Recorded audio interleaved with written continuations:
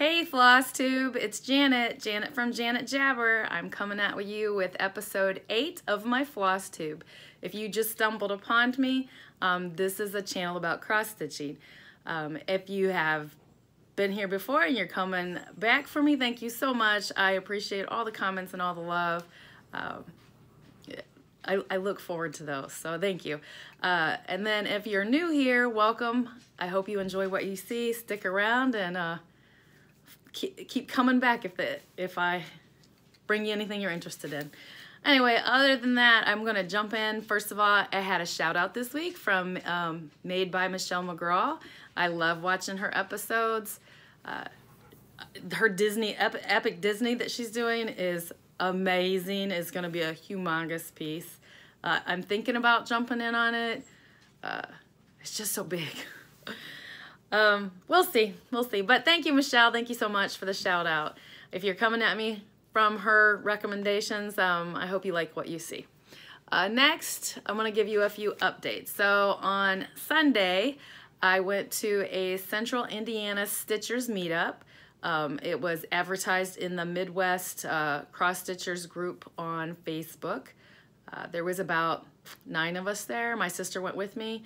Um, it was a it was a pretty awesome day uh, we met up and stitched for about like two hours together. So it was pretty cool. Nice to meet those ladies, uh, new and old stitchers alike. So it was it was pretty cool. So if uh, I, I encourage everyone to jump out and try to make those. I, am actually going to look into trying to do something around here if I can get my ducks in a row. So uh, another thing, actually Sunday was the uh, I don't even know what you call this the anniversary or the second year of my mother's passing. And so it was kind of cool that my sister and I um, were together on that day.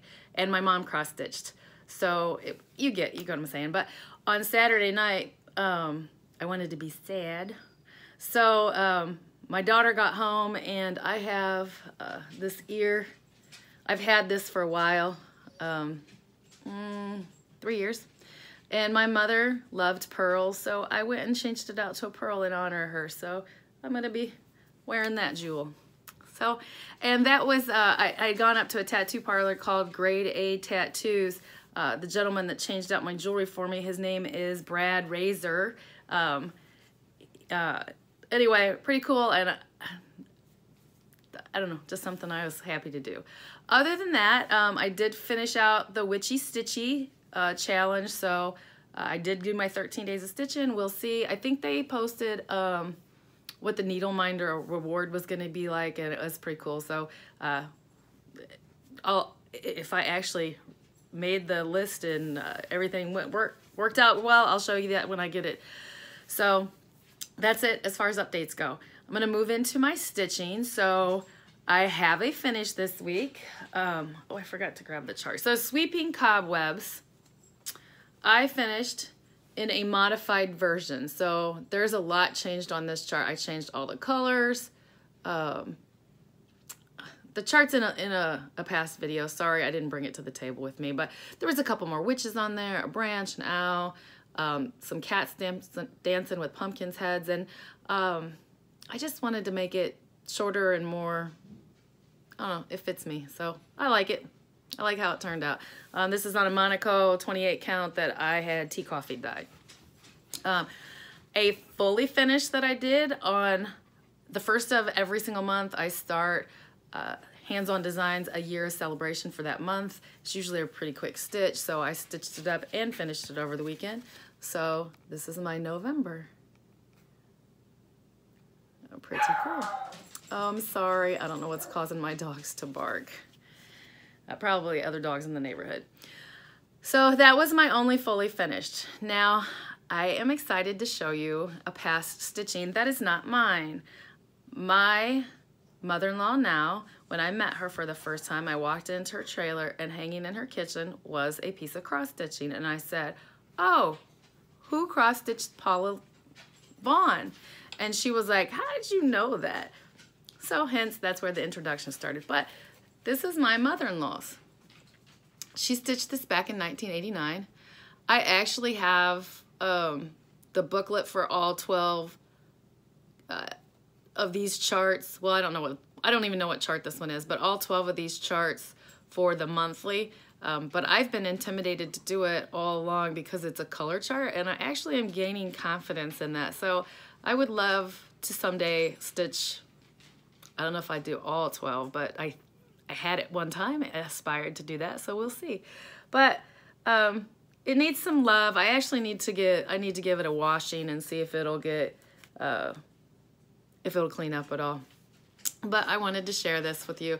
She actually was, she already, she wrote my name on it and that it was coming to me and uh, already passed it on. She's, she's still alive, but she passed it on for me to have. So, um, so that's a past stash. I apologize if you're hearing my dogs wandering around and, and breathing heavy it's, it's a sunny day here and I think they're just kind of uh, anxious.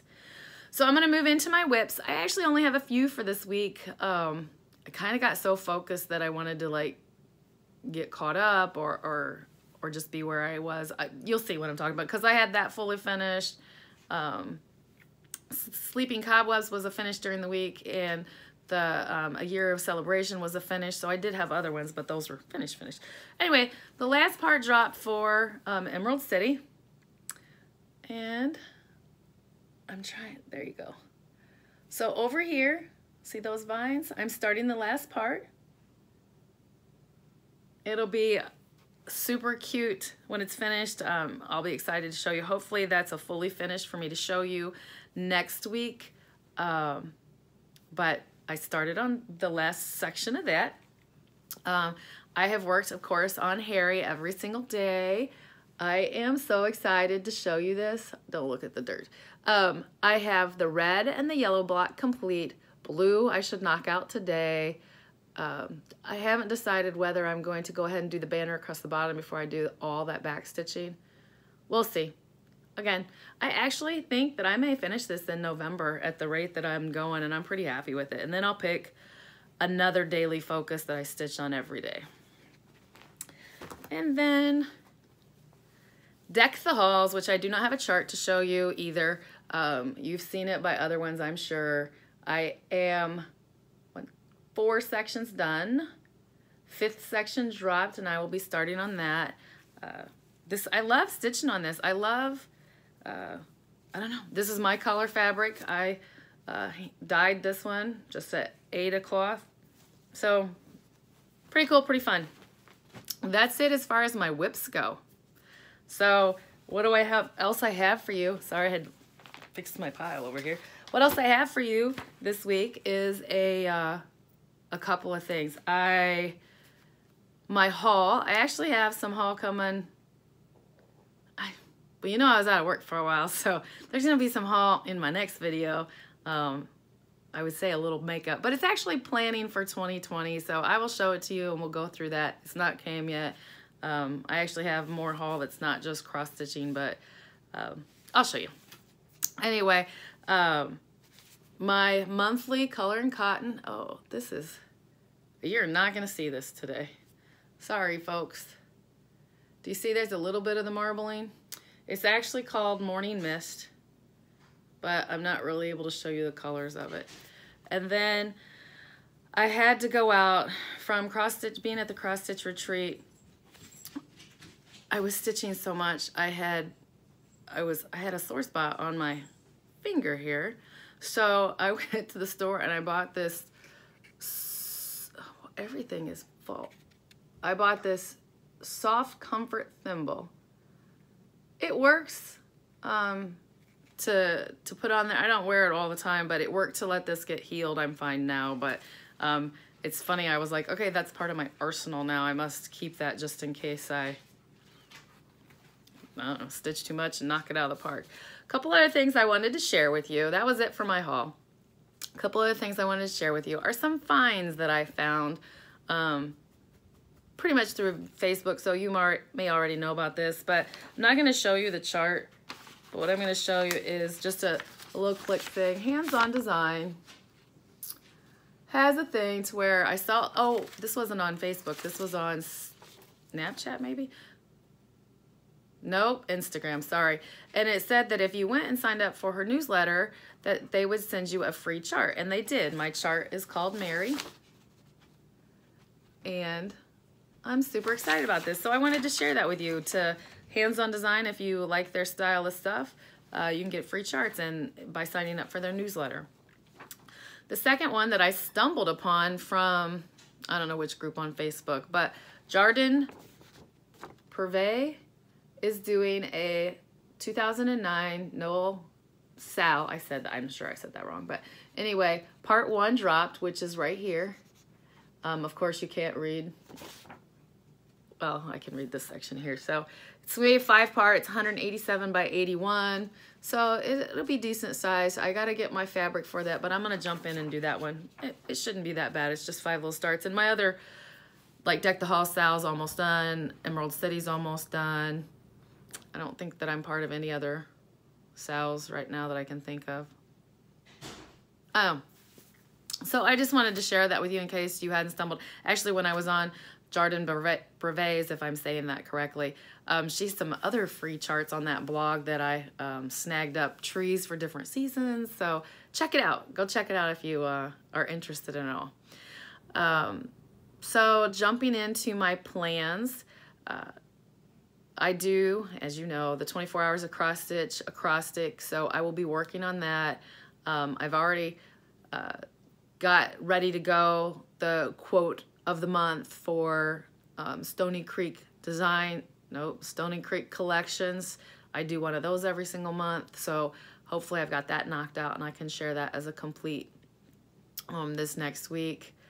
Uh, hopefully Emerald City is a complete for you for next week.